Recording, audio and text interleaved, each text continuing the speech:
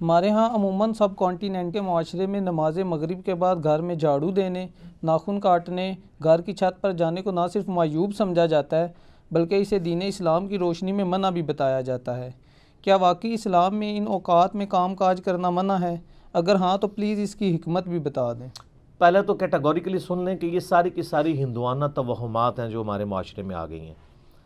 एक चीज़ ज़रूर है सही बुखारी और मुस्लिम की मुतफ़न हदीस है। नबी सल्लल्लाहु अलैहि वसल्लम ने फरमाया कि जब मगरिब का वक्त हो जाए तो अपने बच्चों को बाहर ना निकालो। उस वक्त शयातीन निकलते हैं और वो बच्चों को उचक लेते हैं।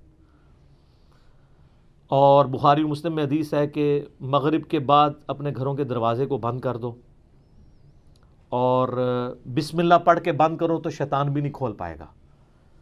वरना तो ये जो लोग कहते हैं ना, हम जिन्नात से इतना काम लेते हैं तो कोई बैंक से पैसे चोरी करवा के बताएँ। दुनिया का निज़ाम नहीं चल सकता। अल्लाह ताला ने ये जो हर्डल है, वो सब के लिए रखी हुई है। बुखारी मुस्लिम अल्फाज हैं, अपने बर्तनों को ढांप दो। खाली बर्तनों को उल्टा कर दो, अगर ढांप नहीं सकते। और अगर भरे हुए बर्तन हैं, उसको ढांपने के लिए कोई चीज़ ना मिले तो बुखारी मुस्लिम के अल्फाज हैं, कोई एक तिनका ही उसके ऊपर रख दो। और मुस्लिम शरीफ में हदीस है कि एक रात साल में ऐसी आती है जिसमें अल्लाह ताला की तरफ़ से कई एक मर्ज़ आते हैं और वो ऐसे बर्तन में दाखिल हो जाते हैं जिन बर्तनों को खुला रखा हुआ होता है। तो नबी सल्लल्लाहु अलैहि वसल्लम ने ये सारी इंस्ट्रक्शंस फरमाई। फिर बुखारी मुस्लिम में ये भी हदीस है कि नबी इस्लाम फरमाया, रात को चिराग बुझा के सो।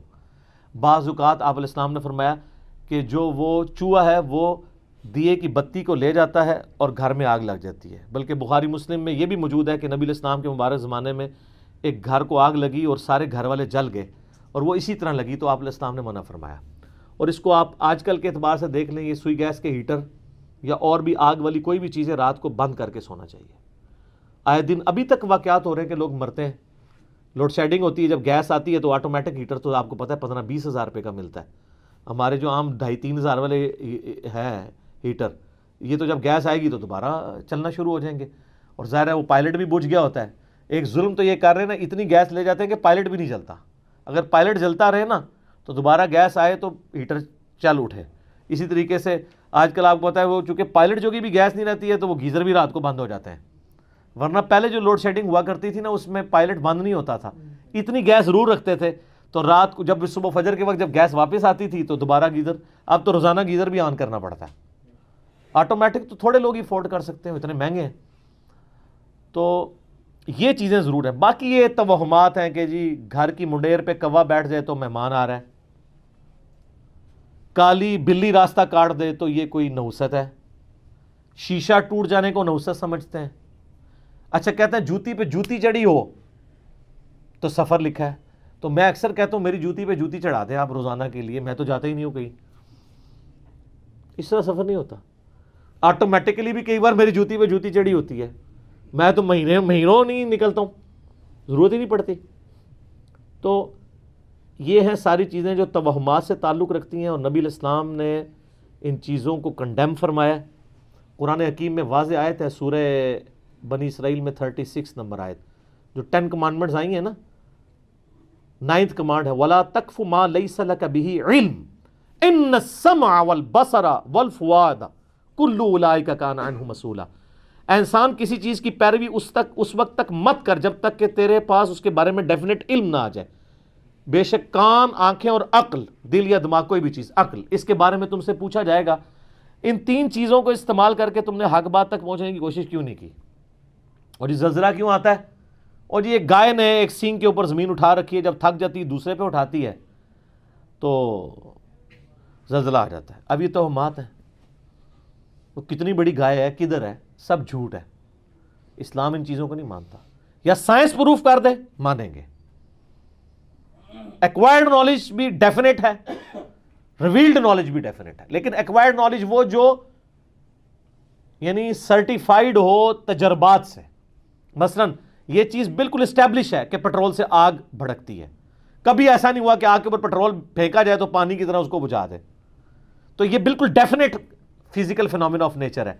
ये कुरान सुन्नत की तरह उज्जत है। इतना उज्जत है कि आप देखें, हज़रत इब्राहिम इस्लाम ने नमरूद को जिस दलील पे खामोश करवाया था, वो है ही यही थी कि मेरा रब वो है जो मशरक से सूरज निकालता है, अगर तू रब है तो मगरब से निकाल के बता। तो हक्का बक्का रह गया था काफिर। अब ये साइंटिफिक एक फिनोमिना था जो हज़रत इब्राहिम इस्लाम ने सामने पेश किया। अल्लाह ताला के जो ये फ़िज़िकल फिनोमिना है इतने मोहकम है कि कभी कभार ही टूटते हैं। आग एक ही दफ़ा ठंडी हुई है इब्राहिम इस्लाम के लिए। रोज रोज तो नहीं होती। काबे को भी अल्लाह ताला ने अबरा के लश्कर से एक ही दफ़ा बचाया है। उसके बाद तो यजीद के दौर में खाना काबा के ऊपर चढ़ाई हुई है और गिलाफ काबा का कुछ हिस्सा जल गया। उसके बाद फिर जारिब यूसुफ की चढ़ाई के दौरान खाना काबा की दीवानें मुनहदम हो गई। कुछ नहीं हुआ। वाक़ हर्रा में मदीना शरीफ की हरमत पर माल हुई। दुनिया पर कदर एफर्ट है। आप लाख कहते हैं बुज़ुर्गों ने दुनिया का निज़ाम संभाला हुआ है। कोई फ़र्क नहीं पड़ता।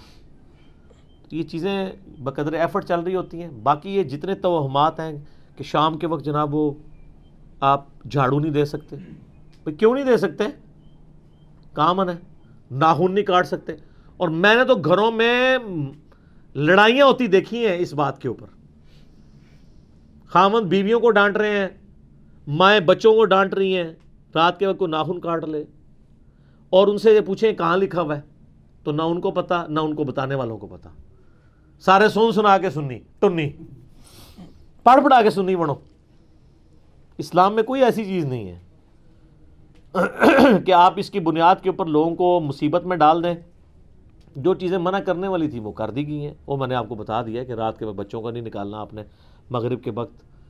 वो सारी चीज़ें अपनी जगह मौजूद हैं। अच्छा होती कोई कोई यानी दस चीज़ मौजूद है, उसके साथ सिफर लगा के उसको हंड्रेड कर देते हैं, कोई और सिफर लगा के थाउज़ेंड कर देता है, इस तरीके से बढ़ाते चले जाते हैं, गुलूफ करते जाते हैं। हकीकत में वो चीज़ बड़ी थोड़ी होती है। इस तरीके से दीन में खुद एग्जेजरेशन करना, लड़ाई झगड़े करना, भाई, सफ़ाई तो निसफ ईमान है, सही मुस्लिम में फाइव थर्टी फोर नंबर हदीस है, सफ़ाई निसफ ईमान है। वो सफ़ाई के लिए कोई टाइमिंग नहीं बताएगी, जिस वक्त मर्ज़ी आप करें सफ़ाई। अच्छा जिन चीज़ों में टाइमिंग बताई थी, उसमें कोई फॉलो नहीं करता। सूर्य नूर उठा के देखें, अल्लाह तला ने तीन औकात में किसी के घर जाने से मना फरमाया। अर्ली इन द मॉर्निंग, दोपहर के वक्त और रात के वक्त।